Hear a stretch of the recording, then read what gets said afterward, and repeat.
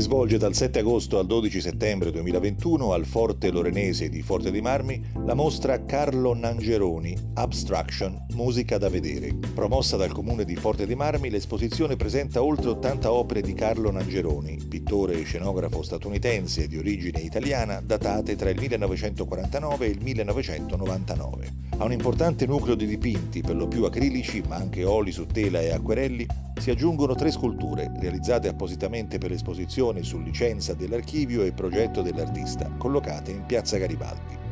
Il percorso espositivo parte da uno splendido autoritratto del 1949, ancora declinato nel linguaggio figurativo, per arrivare all'astrazione della fine degli anni 90, documentando il passaggio stilistico e poetico decisivo nell'opera dell'autore. Allievo di Mauro Reggiani, uno dei padri dell'astrazione in Italia, Nangeroni ha sviluppato un proprio stile pittorico in cui il linguaggio musicale, con i suoi ritmi, le sue pause e le sue ripetizioni, ha rappresentato il modello di riferimento. La forma del cerchio è diventata essenziale in lui nel momento in cui alla fine degli anni 50 ha cominciato ad abbandonare la figurazione e successivamente l'informale e il colore, per una forma di astrazione costruita sulle cadenze e sulla reiterazione nelle mutazioni, nelle interferenze, così come negli elementi in movimento di cui si ammirano alcuni esempi in mostra, quella che si vede rappresentata è la sua pittura in una visione minimale ma aperta al cuore, alla variazione, alla creazione, come sviluppo di temi simili ai temi musicali.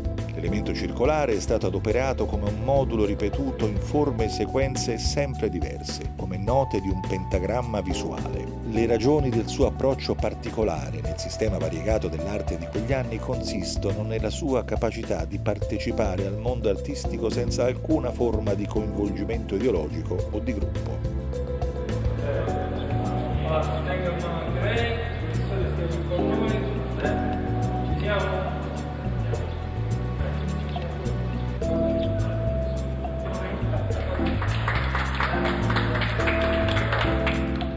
Mio marito era nato a New York da genitori lombardi che erano emigrati negli Stati Uniti. I genitori volevano tornare a vivere in Italia e avevano mandato i figli, mio marito e suo fratello, eh, in Italia.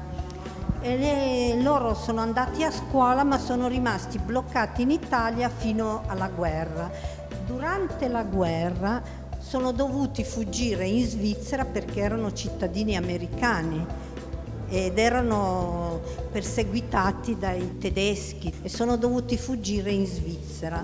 Dopo dalla Svizzera sia mio marito che suo fratello sono tornati negli Stati Uniti. Il mio marito aveva studiato arte a Milano, poi per cinque anni ha fatto lo scenografo per l'NBC, però aveva sempre questo desiderio di tornare in Italia e di dedicarsi soltanto alla pittura. Lui è partito dal, dal figurativo, però poi eh, stando in America ha avuto eh, il periodo dell'action painting e lui si è dedicato un po' a quel tipo di, di pittura, però non era quello che lui desiderava. Quindi tornato in Italia ha pensato di trovare una sua strada astratta. Fondamentalmente vedrete una mostra che ha un suo sviluppo di tipo cronologico. Dalle opere anni 40, 50 e 60, salendo abbiamo, si arriva fino agli anni 90. Una sezione particolare dedicata agli acquarelli che sono una, dire, una delle caratteristiche più importanti del suo lavoro. Uh, la mostra si chiama Abstraction, musica da vedere.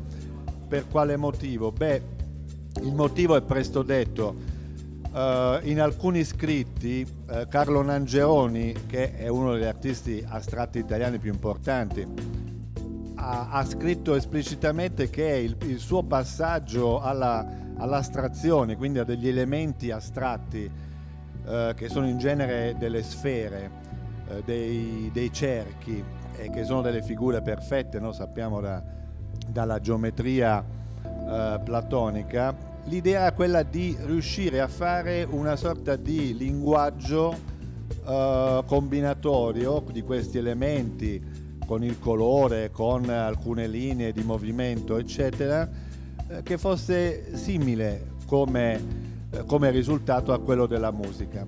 La musica, badate bene, Uh, un, grande, un, grande, storico dell'arte diceva che tutte le arti tendono alla musica, perché la musica ha in sé una sua perfezione, cioè il fatto che con pochi elementi si possano comporre delle canzoni di Sanremo o comporre delle sinfonie uh, di Beethoven. La musica ha un suo linguaggio molto importante e le arti visive hanno sempre guardato la musica cercando di eh, come dire, avvicinarsi a questa capacità di rendere tanto con pochi elementi combinati insieme, cioè di creare un vero e proprio linguaggio visivo. Ecco, Carlo Langeroni ha dedicato, abbiamo anche riprodotto poi nei pannelli alcune sue frasi proprio per illustrare questo aspetto, perché è interessante capire come l'arte astratta si avvenga in personaggi che sanno perfettamente dipingere, basta vedere la qualità di lavori di questo tipo, anche un lavoro della, del periodo americano come Blue Hills qui sulla mia destra, perché eh, come dire, il, l'apprendistato di un artista di questo tipo è un apprendistato assolutamente figurativo, ma questo dico anche un grande artista astratto americano come Franz Klein, ha un suo periodo figurativo, cioè la figurazione è un po' la gestazione no? di, di, tutta, di, tutta, la pittura. Poi ognuno prende le sue, le sue strade, eh, certamente, ma mi serviva anche, come dire, quest'idea di cercare di connettere, di far capire al grande pubblico, e questo è uno spazio magnifico perché è uno spazio importante, bellissimo, io devo dire non, non lo faccio per piaggeria, ma come è stato ristrutturato questo spazio, faccio i miei complimenti all'amministrazione perché è uno spazio perfetto per, per esporre. E quindi, come dire, in uno spazio di questo tipo, che è uno spazio dove c'è la storia, ma c'è anche un aspetto minimale che è quello che serve poi alle opere d'arte per vivere, ecco, mi sembrava che proporre una mostra con una latitudine cronologica così ampia come 50 anni fosse uno spazio giusto. La nostra idea nella collaborazione con, con l'archivio Carlo Nangeroni, e qui c'è la, la signora Mary, no? la, la, la, moglie di Carlo Nangeroni, la vedova ovviamente, e per noi è importante questa collaborazione perché i grandi artisti hanno bisogno anche di molto, come dire, di un supporto critico, ma anche di una grande ricerca di visibilità e di contatto con il pubblico. Abbiamo realizzato anche tre sculture da dei modellini di Nangeroni che vedete poi esposti qui. Sono delle sculture realizzate per l'occasione e questo era anche un modo per far capire come anche la ricerca plastica in un artista come Nangeroni è importante.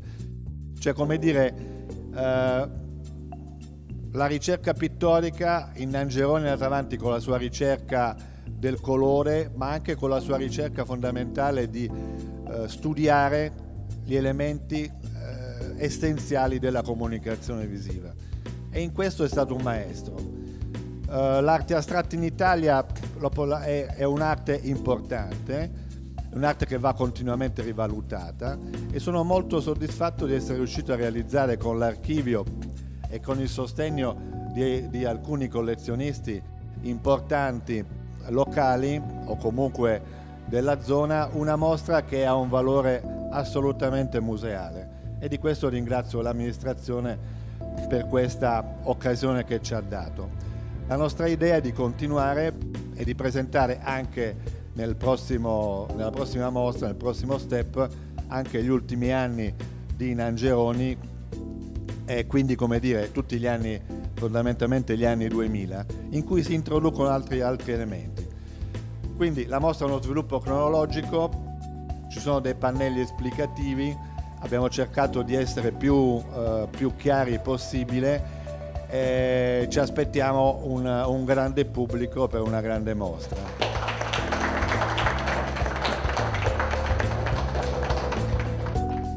Il Il lavoro di mio papà l'ho sempre conosciuto da quando sono nato, non sono un esperto d'arte, mi piace perché è il lavoro che conosco di mio papà.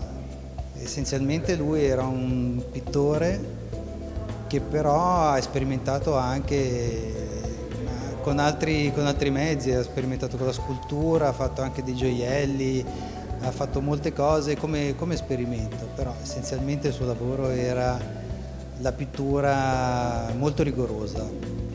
Mio papà diceva che l'arte astratta in realtà tanti cercano di capirla, di interpretarla, però il vero punto è se ti piace o non ti piace.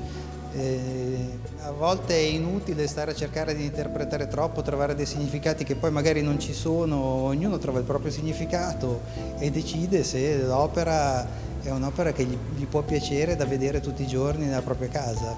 Questo era il, il pensiero di mio papà.